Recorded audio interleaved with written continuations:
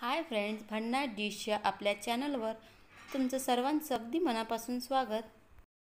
आजच्या या व्हिडिओमध्ये आपण आंबट गोड चटपटीत अशी करवंद चटणी कशी तयार करायची ते बघणार आहोत. चला तर मग रेसिपीला सुरुवात करूया. चटणी करण्यासाठी इथे साधारण पंचवीस ते तीस करवंद स्वच्छ पाण्यात धुवून पुसून घेतली आहेत. त्यानंतर हा मीडियम आकाराचा एक कांदा तीन ते चार लाल सुक्या मिरच्या एक चम्मच धनाजिरा पूड एक वाटी किसलेला गूळ करवंद आंबट असल्यामुळे गूळ थोडा जास्त प्रमाणात वापरायचा आहे. चवीनुसार मीठ एक चम्मच लाल तिखट आणि पाच ते सहा लसूण पाकड्या अशा प्रकारे इथे करवंद्याच्या फोडी तयार करून घेतलेल्या आहेत. तर यामधील बी पूर्णपणे काढून घ्यायचं आहे.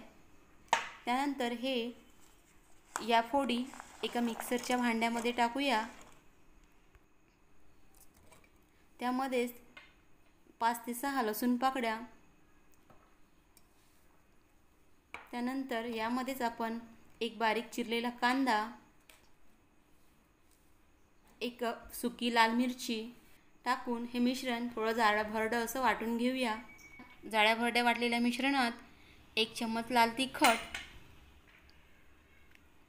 एक चम्मच धने जिरेपूड चवीनुसार मीठ आणि हा पूर्ण एक वाटी गूळ टाकून घेऊया आणि याला पुन्हा एकदा मिक्सरवरती छान फिरवून घेऊया.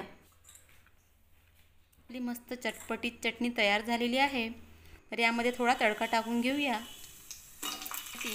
गॅसवर एका भांड्यात साधारण दोन चम्मच तेल टाकून घेऊया.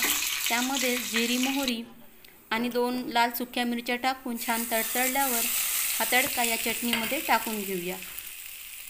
तर इथे आपली आंबट गोड चवीची अगदी हेल्दी अशी करवंद चटणी तयार झालेली आहे. ही चटणी आरामात दहा ते पंधरा दिवस तुम्ही फ्रीजमध्ये स्टोअर करून याचा वापर करू शकता.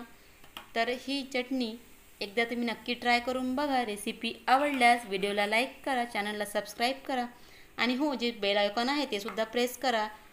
व्हिडिओ पाहिल्याबद्दल धन्यवाद. पुन्हा भेटूया अशाच एका नवीन रेसिपीसोबत